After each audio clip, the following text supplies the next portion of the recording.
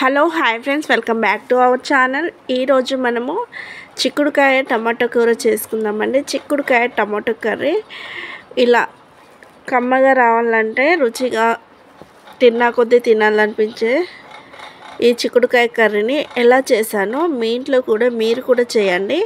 నేను చూపెట్టిన ప్రాసెస్లో ఓకేనా? మన వీడియో ఫస్ట్ టైం చూసినట్లయితే సబ్స్క్రైబ్ అయితే చేయండి. వీడియో మొత్తం చూసి కామెంట్ అయితే ఎలా వచ్చిందో చెప్పండి ఫ్రెండ్స్ ఓకేనా? ఇంకా వీడియోలోకి అయితే వెళ్ళిపోదాము. ముందుగా మనము ఒక చిక్కుడుగాయనైతే చించి అయితే పక్కకైతే పెట్టుకున్నాను. ఇప్పుడు స్టవ్ వెలిగించుకోవాలండి. స్టవ్ వెలిగించుకొని ఒక వెడల్పాటి గిన్నెనైతే పెట్టుకున్నాను. కర్రీ బౌల్ అయితే పెట్టుకోవాలి. ఇలా కర్రీ గిన్నె పెట్టుకున్నాక టూ టేబుల్ స్పూన్ నూనె పోసుకోవాలండి. నూనె వేడయ్యాక జీలకర్ర వేసుకోవాలి పావు టేబుల్ స్పూన్.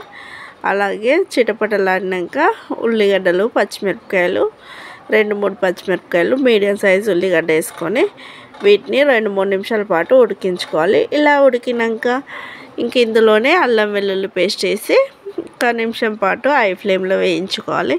అలాగే పావు టేబుల్ స్పూన్ పసుపు కూడా వేసుకొని కలుపుకొని ఒక నిమిషం పాటు ఇలా కలుపుకుంటూ వేయించుకుంటే మనకు అల్లం వెల్లుల్లి పేస్ట్ స్మెల్ అనేది బాగా వేగి స్మెల్ అయితే బయటకు వచ్చేస్తుంది. ఆ వాసన వచ్చేటప్పుడు మనము చిన్నగా కట్ చేసి పెట్టుకున్న మన చిక్కుడుకాయ ఉంది కదా ఆ చిక్కుడుకాయను ఇందులో వేసి ఇంకా మనము బాగా కలుపుకొని మూత పెట్టుకోవాలి. ఇలా మధ్యలో మధ్యలో మూత పెట్టుకుంటూ తీసుకుంటూ కలుపుకోవాలండి. ఒకసారి అయితే ఉడికింది కదా కొంచెం వేడిగా కాగానే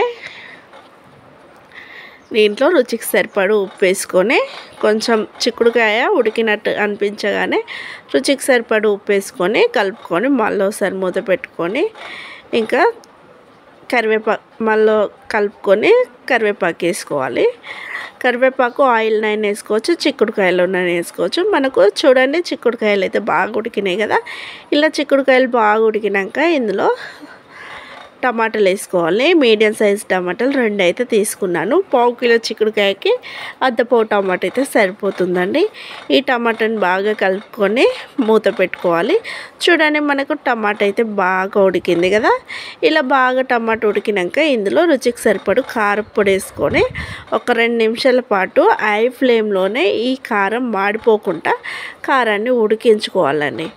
ఇలా కారాన్ని ఉడికించుకోవడం వల్ల మనకు టేస్ట్ అనేది సూపర్ ఉంటుందండి.